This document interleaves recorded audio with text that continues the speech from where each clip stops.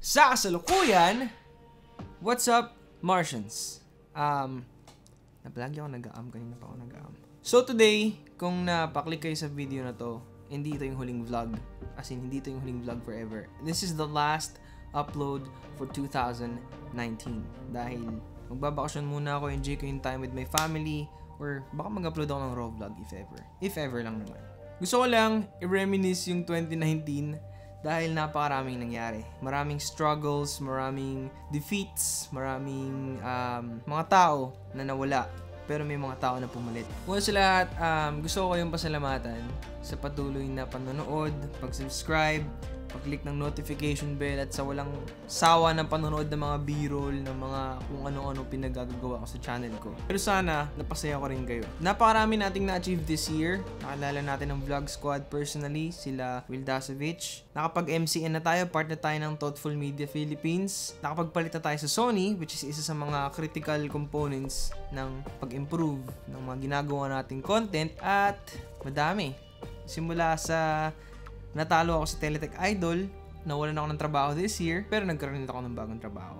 At in the long time na wala akong trabaho, nagkaroon ako ng time na ibuhos lahat ng, you know, ng energy ko sa channel natin. At masaya ako dahil sa mga nakakasama ko sa mga vlogs, yun, alam niyo naman sila Nude, sila John, yun, yung iba pang tao na nakakabanding ko sa paggawa ng vlogs. Masaya ako dahil naging part kayo ng 2019.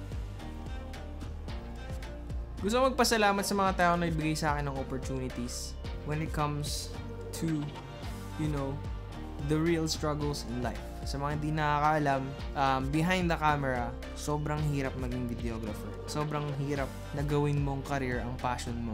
Kaya sa mga nagbibigay sa inyo ng advice na follow your passion, totoo yun. Pero, always remember na sa umpisa, hindi ka mabubuhay ng passion mo. Ang bubuhay sa'yo is yung hard work at willpower na meron ka sa sarili mo. Always find something to supply your own passion dahil hindi lahat ng tao sa umpisa ay susuporta sa'yo. Kasi maaaring isipin nila na weird ka, maaaring isipin nila na anong plano mo sa buhay mo, bakit ka ba nagbablog, bakit ka ba, bakit ka ba, ba't mo pinili yan? At first, tandaan nyo na hindi, hindi, hindi kayo dapat sumuko. Dapat tumuloy lang kayo at makakamit nyo yun. Yun lang masasabi ko sa dami ng struggles na hinarap ko this year, lahat mentally, uh, physically, emotionally, pareho lang yata yung mentally at emotionally, hindi ako sure. Hindi ba? okay, hindi pala parehong, pero part yun, financially, naging struggle ko din yan. Gusto ko lang malaman nyo, Martians, kung may plano kayong maging photographer, videographer, especially lalo na nandito kayo sa Pilipinas, um, ilaban nyo lang. Maraming tao sa panahon ngayon ang mababa tingin sa mga photographers at videographers. It's your job, it's your calling, and it's your duty na patunayan na hindi dapat tayo tignan as mababang klase ng, alam mo yun, ng genre sa buhay. Kasi, di biro yung mga ginagawa natin yung sa bawat araw, sa bawat event, sa bawat client na hinaharap nyo, lahat yan part ng growth nyo just also always go for the extra mile.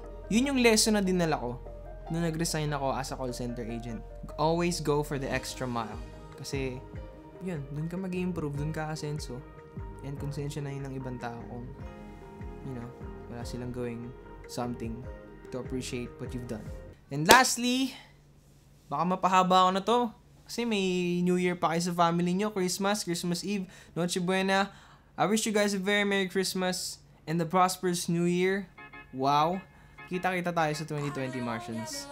I'll see you guys next year. Peace out.